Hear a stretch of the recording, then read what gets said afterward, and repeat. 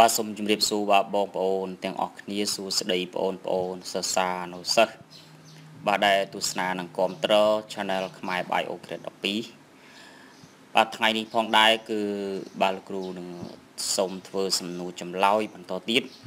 បាទសម្ភារទី12សម្រាប់ត្រៀមប្រឡង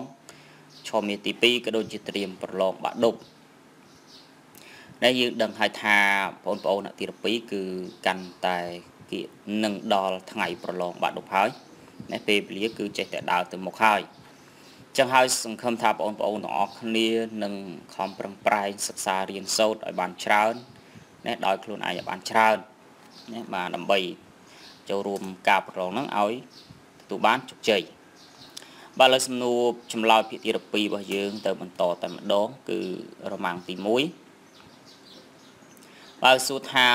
តើលប៊ឺជាអ្វីណាបាទបើលប៊ឺជាអ្វីចឹងលប៊ឺជាសូរសំឡេងខ្យល់នៅជំវិញ ដែល ប្រភពសំឡេងនោះញ័របង្កើតបានជារលកសូរណាបាទចឹងមានន័យថាសំឡេងនៅជំវិញយើងហើយ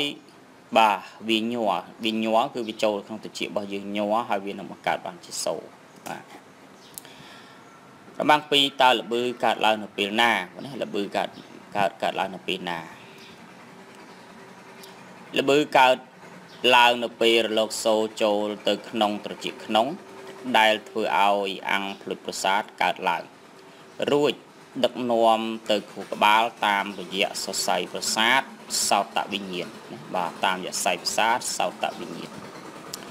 ចឹងល្បឺកើតឡើងនៅពេលដែលសូរចូលទៅដល់ក្នុងត្រចៀកក្នុងណាគឺកើតមាននៅក្នុងត្រចៀកក្នុងពេលដែលវាចូលទៅដល់ក្នុងត្រចៀកក្នុងអញ្ចឹងអាំងភ្លេចប្រសាទកើតឡើងហើយក៏ដឹកនាំទៅកាន់ខួរក្បាលតាមរយៈខ្សែប្រសាទសោតវិញ្ញាណសំណួរទី3នៅលើដាតតអាំងភ្លុចប្រសាទត្រូវបានដឹកនាំដោយសរសៃប្រសាទអ្វីអាំងភ្លុចប្រសាទបកស្រាយនៅកន្លែងណាបាទ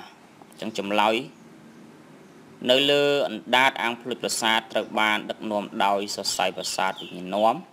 ណាគឺដឹកនាំដោយសរសៃប្រសាទវិញ្ញាណនាំអាងភ្លុតប្រសាទត្រូវបានបកស្រាយនៅកំពកសៀតផ្កាណាបាននៅកំពកសៀតផ្កា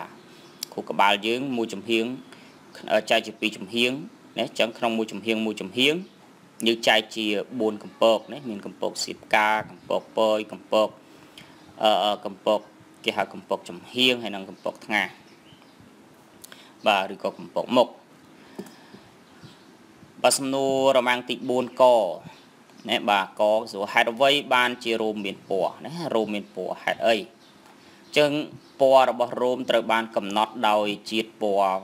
មេឡានីន ដែលផលិតចេញពីកោសិកាមេឡាណូស៊ីតណាបាទនៃស្រទាប់អេពីដេមនៅផ្នែកបាតនៃគល់រោមចាអាអាកោសិកាមេឡាណូស៊ីតហ្នឹងគឺវានៅក្នុងស្បែករបស់យើងណាបាទអញ្ចឹងពណ៌រោម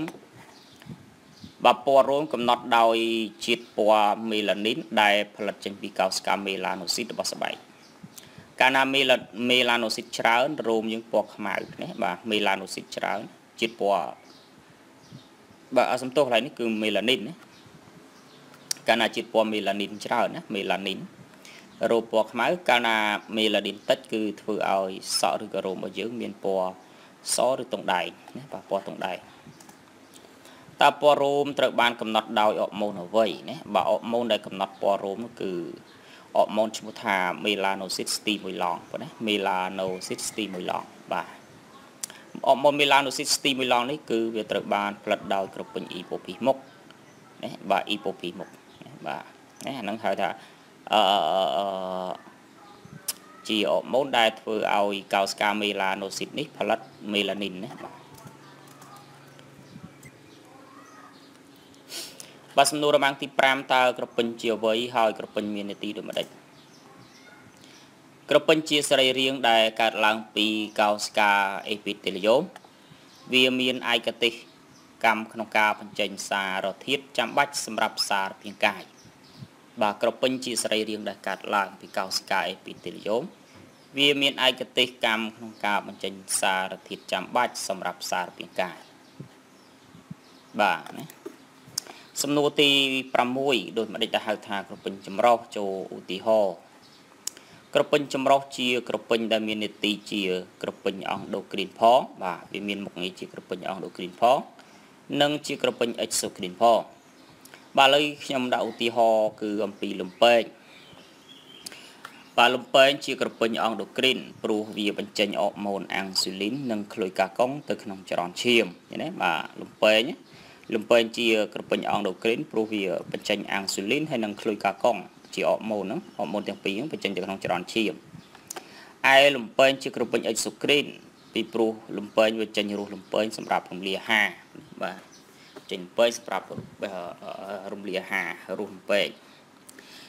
ក្រៅពីលំពេងទៅក៏ពេញចម្រុះមានដូចជាពងស្វាស់មានអូវែមានអីណាបាទក្រពះមានតូចហ្នឹងក៏ជាពេញចម្រុះដែរណាឲ្យតែមានមុខងារជាក្រពេញអង់ដូគ្រីនផងនិងមានមុខងារជាក្រពេញអិចសូគ្រីនផងអាហ្នឹងយើងហៅថាជាក្រពេញបាទចម្រុះហើយបារម៉ាំងទី6ដូច mình ហៅថាស្វ័យដំឡើងទ្វេ ADN បាទស្វ័យដំឡើងទ្វេ ADN ស្វ័យដំឡើងទ្វេ ADN ជាបាតុភូតដែលម៉ូលេគុល ADN មេមួយអាចបង្កើតបានដោយខ្លួនឯងនៅម៉ូលេគុល ADN កូន2ដែលដូចគ្នាបេះបិទហើយដូចគ្នាទៅនឹងម៉ូលេគុល ADN មេណាបាទអញ្ចឹងស្វ័យដំឡើងទ្វេ ADN គឺជាបាតុភូតដែលម៉ូលេគុល ADN មេមួយបង្កើតបានដោយខ្លួនឯងនៅម៉ូលេគុល ADN កូន2ដែលកូនមួយមួយគឺដូចគ្នាបេះបិទហើយ ដូចគ្នាទៅនឹងម៉ូលេគុល ADN មេដែរសំណួរចុងក្រោយរមាំងទី7ណាបាទរមាំងទី7គេសួរថាក្រោយពីស្វ័យដំឡើងទ្វេហើយហេតុអ្វីបានជាម៉ូលេគុល ADN កូនទាំងពីរដូចគ្នាបេះបិទទៅនឹងម៉ូលេគុល ADN មេណាក្រោយពីស្វ័យដំឡើងទ្វេហើយហេតុអីបានម៉ូលេគុល ADN កូនដូចគ្នាទៅនឹងម៉ូលេគុល ADN មេចឹងក្រោយពីស្វ័យដំឡើងទ្វេហើយណា បាទបានជាម៉ូលេគុល ADN កូនទាំងពីរដូចគ្នាបេះបិទទៅនឹងម៉ូលេគុល ADN មេព្រោះនៅពេលស្វ័យដំឡើងទ្វេណាបាទពេលស្វ័យដំឡើងទ្វេ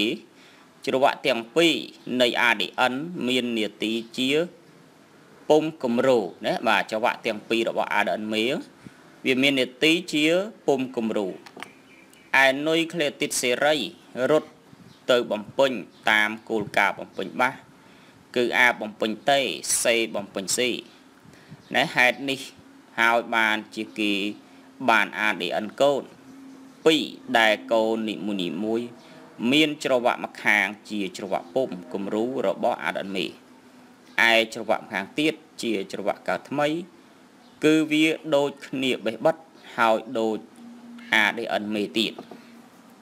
ណាបាទអញ្ចឹងយើងនិយាយជាខ្លីគឺ ក្រោយពីស្វែងឡើងទ្វេហើយ ADN កូននីមួយនីមួយគឺសុទ្ធតែដូចគ្នាបេះបិទហើយដូចទៅនឹង ADN មេព្រោះអីណាបាទពីព្រោះថាក្នុង molecule បាទព្រោះក្រោយមកក្រោយក្រោយមានន័យថាក្រោយពីស្វែងឡើងទ្វេហើយ molecule ADN មេមួយមួយវាបានរក្សានៅច្រវាក់ខ្លួនមកខាងណា ADN មេវារក្សាច្រវាក់មកខាងរបស់ខ្លួន ច្រវាក់មកខាងហ្នឹងវាដើរតួជាច្រវាក់ពុំគំរូនេះណាច្រវាក់ពុំគំរូច្រវាក់ពុំគំរូហ្នឹងគឺសម្រាប់សំយោគច្រវាក់កើតថ្មីសំយោគច្រវាក់កើតថ្មីនេះគឺនុយក្លេទីតសេរីនេះវារត់ទៅបំពេញជាមួយច្រវាក់មេមកខាងមកខាងណាគឺបំពេញតាមគោលការណ៍បំពេញបាសណែគឺ A បំពេញតេ C បំពេញ C បាទចឹងហើយទើបកូននីមួយនីមួយដូចគ្នា បេះបិទតែម្ដងណាកូនមួយមួយដូចគ្នាបេះបិទហើយដូចជាមួយនឹង molecule ADN មេទៀតហើយ molecule ហើយការស្វែងឡើងធ្វើ ADN ហ្នឹងគឺវាប្រព្រឹត្តទៅតាមរបៀបពាក់កណ្ដាលរក្សាទុកណាតាមរបៀបពាក់កណ្ដាលរក្សាទុកព្រោះក្នុងកូននីមួយនីមួយសុទ្ធតែមានច្រវាក់ខាងជាច្រវាក់មេចឹងហើយទើបការស្វែងឡើងធ្វើ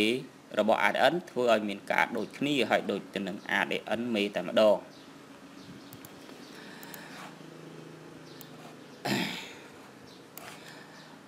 បើចឹងគឺសំណួរចម្លើយភាគទី12បាទដែលបង្ហាញជូននៅពេលនេះបាទសូមបាទអឺ slash ប៉ុណ្ណេះសិនណាបាទរងចាំសំណួរចម្លើយនៅភាគក្រោយៗទៀតដែលលោកគ្រូនឹងធ្វើជូនបងប្អូនដើម្បីទស្សនាដើម្បីទទួលបានការសិក្សាហើយសូមកុំភ្លេចជួយចុច Subscribe បាទឬចុចសញ្ញាកណ្ដឹងឬក៏ចុច Like ឬក៏ជួយ Share វីដេអូដើម្បីចែករំលែកដល់មិត្តភ័ក្តិរបស់យើងដើម្បីបានសិក្សាទាំងអស់គ្នាបាទចឹងជាចុងក្រោយលោកគ្រូជូនពរអ្នកទាំងអស់គ្នាបងប្អូនសិស្សានុសិស្សបាទឲ្យទទួលបានជោគជ័យក្នុងការប្រឡងបាក់ឌុបនាពេលខាងមុខនេះបាទអរគុណច្រើនសូមជម្រាបលា